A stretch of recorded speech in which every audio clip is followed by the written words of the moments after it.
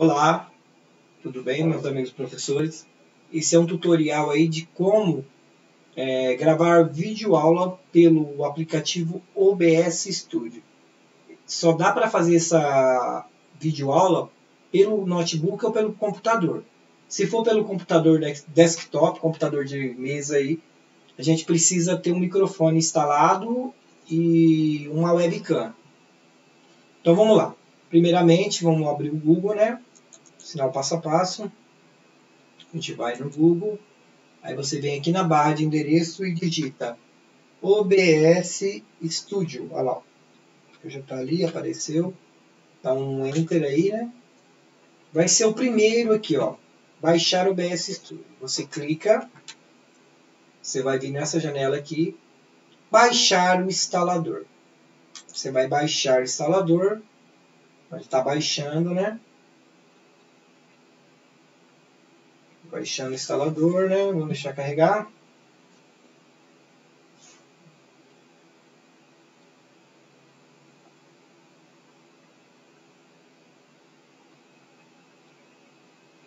Pronto, carregou, você dá um clique nele. Ele vai dar aqui é, para você instalar. Aí você vai seguir no passo a passo que vai falando dá sim. Aí ele vai dar o passo a passo aqui, ó. Next, próximo, estar em inglês. Ele vai dar um passo a passo. Ele vai dar todas as opções para você, onde você quer escolher a pasta para instalar, para baixar os seus vídeos depois que você começar a gravar. E você vai passo a passo. Eu não vou continuar aqui no, na instalação porque já está instalado no meu, tá? Aí você vai dar finish, finalizar depois de todo o processo. Aí já vai aparecer o ícone, o ícone do aplicativo aqui na área de trabalho, que é esse aqui, ó, tá vendo? OBS Studio. Aí você dá um dois duplo clique nele, ele já vai abrir ele aqui, ó. Para mim já está aparecendo aqui, ó, a tela do da, da gravação, porque eu já estou gravando essa aula. Eu apareço aqui do lado e aqui é a tela, né? Então, primeiramente, depois que você instalou, abriu o aplicativo aí, você vai vir aqui, ó. Não vai aparecer essa janela aqui, gente que esse aqui já está instalado. Primeiramente, você vai ter que vir nessa, nessa parte aqui, cenas. Você vai vir no sinal de mais e clicar. Ele vai abrir essa parte para você aqui, ó. Uh, adicionar cena. Aqui você pode colocar o nome da sua aula, matemática, aula de português, tutorial, escrever aqui. Depois de escrito, você vem aqui, dá um OK, que ele já vai salvar aqui. Eu coloquei aula 1.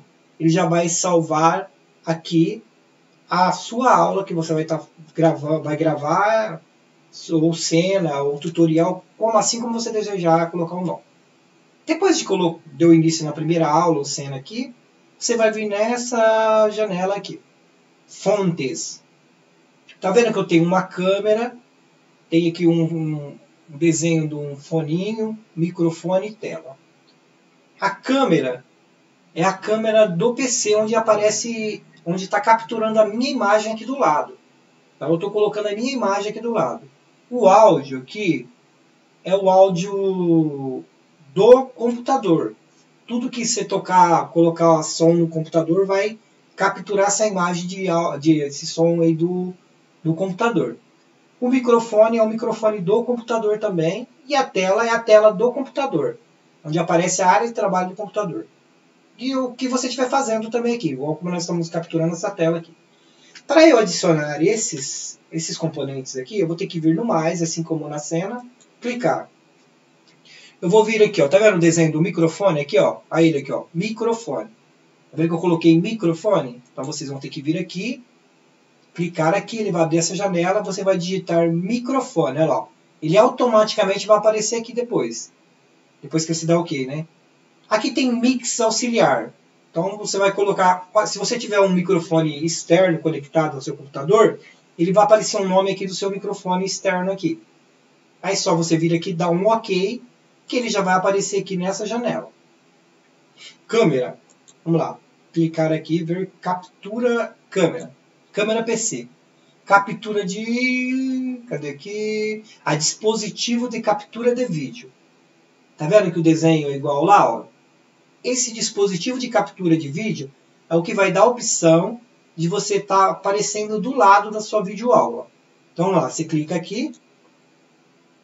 Eu coloquei aqui, ó, câmera PC, porque ele já vai reconhecer que é a câmera do computador. Se você tiver uma webcam, ele vai reconhecer aqui o nome da sua webcam. É só você clicar aqui nela e dar OK que ele vai colocar a sua câmera.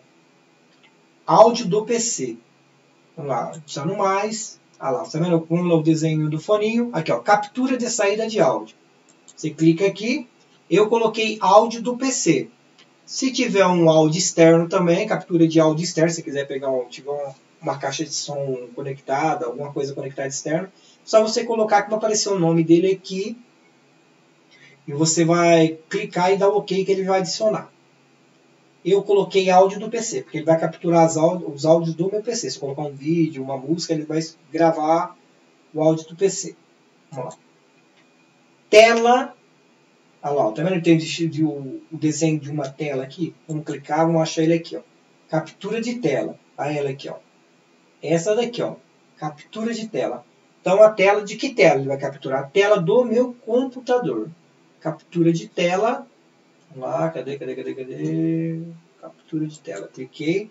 Ó, eu coloquei tela PC, porque ele vai capturar a tela do meu computador. Se você tiver outros dispositivos conectados, outras telas conectadas, você pode também colocar que vai aparecer o nome delas aqui. Você clica nela aqui e dá OK. Eu coloquei tela do PC porque eu vou capturar a tela do meu computador. Você dá um OK. Pronto.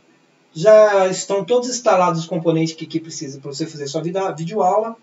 Depois, acabou, acabou, Fernando. Não. Vamos lá, tem mais algumas coisinhas para fazer. Vamos vir aqui, configurações. Aqui, configurações. Vai abrir essa janela geral. Eu deixo aqui, não mexo com nada aqui, é tudo padrão, né?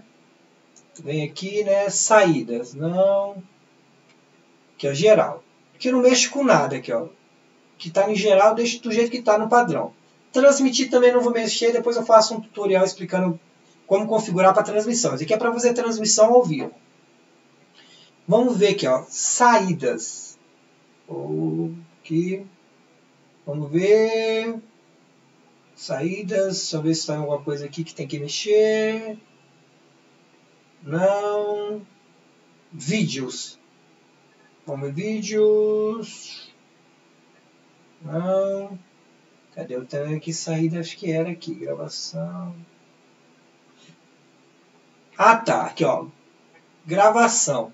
Você pode clicar aqui, ó, em, sa em, saída e gravação. Saída, agora que você terminar de gravar, ele vai mandar o seu vídeo aqui, aonde você escolher. Ó. Aqui eu escolhi C2 ponto, user, desktop, que é a área de trabalho, vídeo, uma pasta que eu criei lá. A hora que você clicar aqui, ele vai dar o local que você quer salvar aí o, os seus vídeos. Né? O meu já está selecionado aqui, então não vou mexer. É, o meu já está tudo salvo, precisa editar. É, formato de gravação. Pessoal, MP4, se você clicar aqui, ele vai dar outras opções, mas MP4 é o, o padrão aí para você gravar. Ele não vai dar opção porque eu estou gravando, né? Já estou fazendo uma gravação e ele não vai deixar eu abrir essas opções. Então, formato da gravação, MP4, que é o padrão de vídeo aceitado por vários aplicativos, vários canais aí, que é um MP4 mas que ele dá uma gama aqui de é, formatos de vídeo aí para você gravar. Aqui você vai escolher o local de salvar a sua gravação e aqui é, o formato do vídeo que vai ser salvo. Aqui em transmissão não vou mexer porque depois, como eu disse, eu vou fazer um tutorial explicando. Em saídas, então, você vem em gravações, escolhe a pasta de destino da sua gravação, da sua aula, e aqui o formato é, da gravação. Eu deixei aqui na, quali é, na qualidade de gravação a mesma da transmissão. Porque depois, na hora que eu configurar a transmissão, eu, a mesma qualidade que está aqui já salva, vai ficar salva lá no lá no da transmissão. Ok? Áudios, vamos ver que não precisa mexer também, tem que deixar o padrão. Saídas eu já falei, transmissão não precisa mexer, geral também não.